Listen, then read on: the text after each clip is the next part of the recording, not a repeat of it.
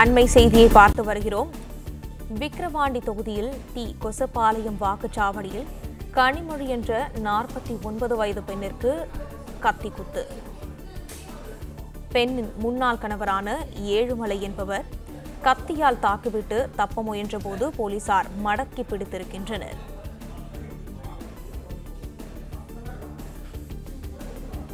ஏழுமலை கைது செய்த கஞ்சனூர் காவல் நிலைய போலீசார் வெறிச்செயலில் ஈடுபட்டது குறித்து விசாரணை நடத்தி வருகின்றனர். மேலும் முன்னாள் மனைவியை கத்தியால் குத்திய ஏழுமலை ஏற்கனவே இரண்டு கொலை வழக்கில் சிறை சென்று வந்தவர் என்றும் தகவல்கள் வெளியாகியிருக்கின்றன விக்கிரவாண்டி தொகுதியில் டி. கொசப்பாளையம் வாக்குச்சாவடியில் கனிமொழி என்ற நாற்பத்தி ஒன்பது வயது பெண்ணிற்கு கத்தி குத்து ஏற்பட்டிருக்கிறது. இதை பற்றின மேலும் விவரங்களை எமது செய்தியாளர் கதிரவன் வழங்க கேட்கலாம்.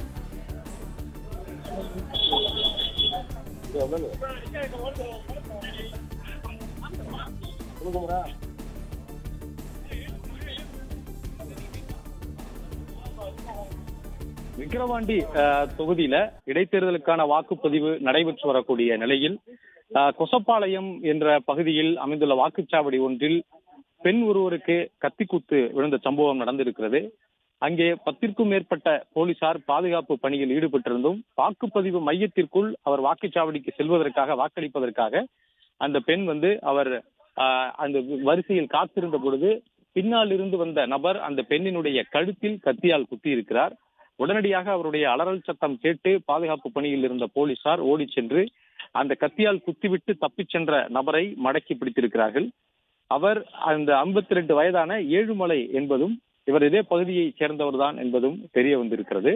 இந்த தாக்குதலுக்கு உள்ளான பெண் கனிமொழி என்ற நாற்பத்தி ஒன்பது வயதானவர் இவர் ஏழுமலையினுடைய முன்னாள் மனைவி என்று சொல்லப்படுகிறது. ஏழுமலை பல வருடங்களுக்கு முன்பு இரட்டை கொலை சம்பவத்துல அவர் கைது செய்யப்பட்டு சிறையில் இருந்து தண்டனை முடிந்து அவர் வெளியில் வந்திருப்பதாகவும் இந்த நிலையில் அவரை விட்டு ஏற்கனவே பல வருடங்களுக்கு முன்பாகவே பிரிந்து வாழ்ந்து வரக்கூடிய அவருடைய முன்னாள் மனைவி கனிமொழியை தான் அவர் வந்து தாக்கியிருக்கிறார். வெளியூரில் அந்த பெண் வந்து வசித்து வரக்கூடிய நிலையில் இந்த இன்று தேர்தலுக்காக அவர் வாக்களிப்பதற்காக இந்த சொந்த ஊருக்கு வந்திருக்கிறார். அப்பொழுதுதான் இந்த தாக்குதல் சம்பவம் நடந்திருக்கிறது என்றும் போலீசாருடைய விசாரணையில தெரிய வந்திருக்கிறது. அந்த நபரை தற்பொழுது இந்த ஏழுமலை என்ற நபரை மடக்கி பிடித்து அவரிடம் இருந்து கத்தியை பறிமுதல் செய்து காவல்துறையினர் கஞ்சலூர் காவல் நிலைய போலீசார் அவரை கைது செய்து தற்பொழுது நிலையத்திற்கு காவல் நிலைய விசாரணைக்காக அழைத்து சென்றிருக்கிறார்கள்.